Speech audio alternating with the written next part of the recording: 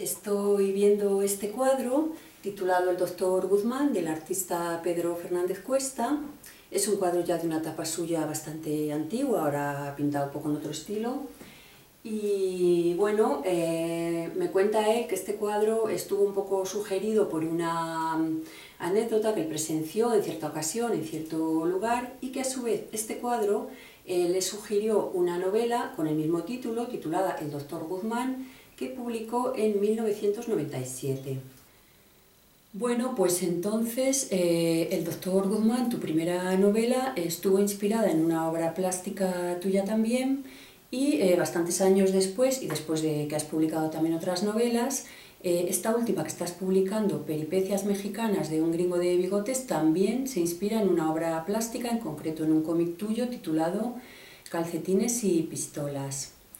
Y según tengo entendido, cuando publicaste El Doctor Guzmán, eh, hubo personas que te dijeron, hombre, sí, está muy bien escrito, controlas muy bien el lenguaje, pero esto no es una novela. Eh, bueno, a mí me parece extraño eh, que hoy en día, en que se supone que hay libertad y todo eso, libertad de expresión, que la gente sea tan restringida a la hora de decir lo que es una novela y en cambio en épocas antiguas, pues por ejemplo, cuando el Quijote y tal, eh, podía permitirse el lujo de incluir dentro del Quijote, por ejemplo, un relato pastoril y, no pasaba nada.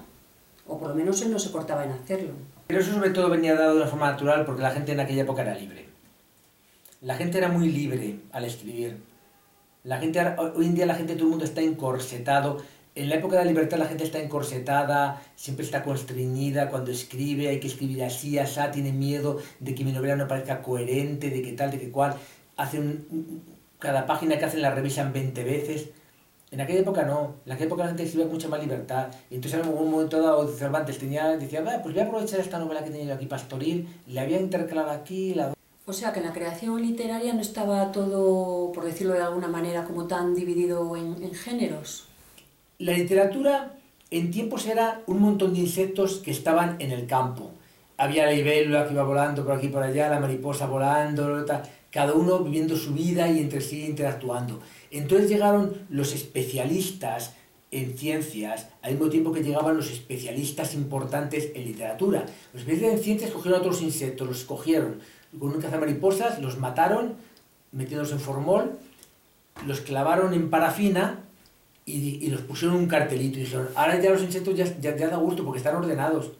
No es como antes que tanto se ordenaba volando por ahí, nadie se podía saber lo que era cada uno, porque antes uno decía, ¿y eso qué es? Y cuando quería mirarlo ya se había ido. Ahora es fenomenal porque están todos aquí metidos, todos muertos, grabados tal. Y con la literatura hicieron lo mismo. Pues pensé que con la literatura. Cogieron todas las novelas, las cogieron de aquí y de allá, las hicieron cachos, las fueron clavando con alfiler, las fueron disecando y dijeron, ya están, clasificadas y, las han matado, ya no es lo que era.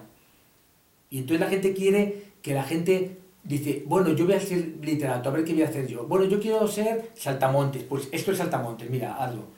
Vale, pues voy a intentar ser un saltamontes. Y entonces yo, como yo soy un saltamontes, digo, ya soy saltamontes. Ya soy una persona, ya, ya lo he hecho, mira, soy saltamontes. Estoy clavado en parafina con un alfiler muerto.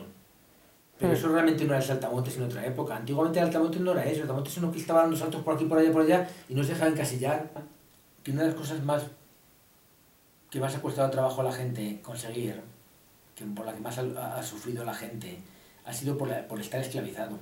Ya. Y la gente cuando ha conquistado un poco de libertad, parece que de repente odia la libertad y odia a la gente que hace cosas con libertad y empieza, a decir ya tonterías, vamos a empezar a ser serios, a hacer cosas con seriedad, tal cual, le gusta que haya normas, que haya cosas más estrictas, que haya cadenas, que se ponga aquí esto, esto, otro había que prohibir esto, esto, esto, esto.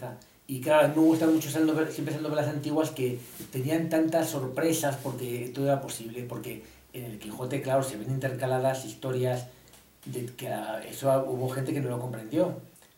El libro de Buen Amor de Arcipreste de Ítano, eso tiene poesías religiosas, serias y piadosas, como llaman a X, o luego también lo tiene, tiene poesías satíricas, tiene cuentos, tiene de todo, tiene cosas, eh, te habla de las estaciones del año, tienes así como una enciclopedia.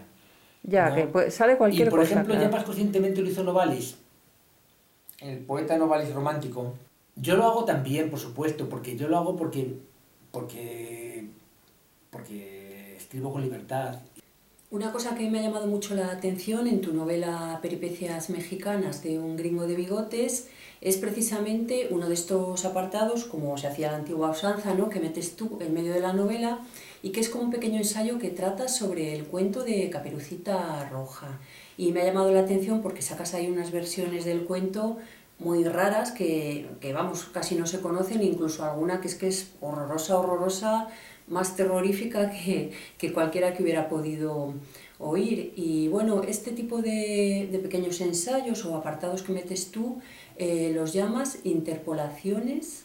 Ensayísticas. Sí. Claro, es una novela que de repente se corta la novela a medias y se pone una interpolación ensayística que es un ensayo. Un ensayo que en principio parece que no tiene demasiada relación, vagamente, pero luego se va viendo la relación posteriormente. Entonces, son cosas intercaladas que van surgiendo y va viendo como una, una dialéctica. Dialéctica de, de cosas distintas, contrastadas, pero ahí está la riqueza. la gente tiene derecho a decir todas las cosas absurdas que quiera, pero realmente también la gente tiene una responsabilidad y no sabe lo que hace. Si una persona tiene, es una persona que tiene un gran prestigio y le llama siempre para dar conferencias, para hablar en televisión, porque es una persona muy, muy, importante y tiene muchos premios y el premio no sé cuántos, el premio no sé qué, y va diciendo que la novela se escribe así a seis, que no es una novela, esa persona sabrá la responsabilidad que tiene. Como mínimo debe saber la responsabilidad que tiene ante la historia de hacer el ridículo padre de mañana. Ya, es verdad. Porque que sepa esa gente que está diciendo se escribe así, como escribo yo, y lo estoy diciendo yo, y esto no es una novela, porque una novela tiene que tener esto, esto y esto, es una ridiculez.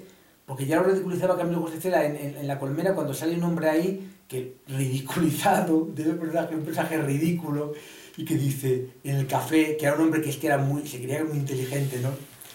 Y dice, todos le escuchaban muy atentamente porque era un hombre que se creía muy inteligente, y decía, yo siempre lo diré, la novela, para ser novela, tiene que tener planteamiento, nudo y desenlace.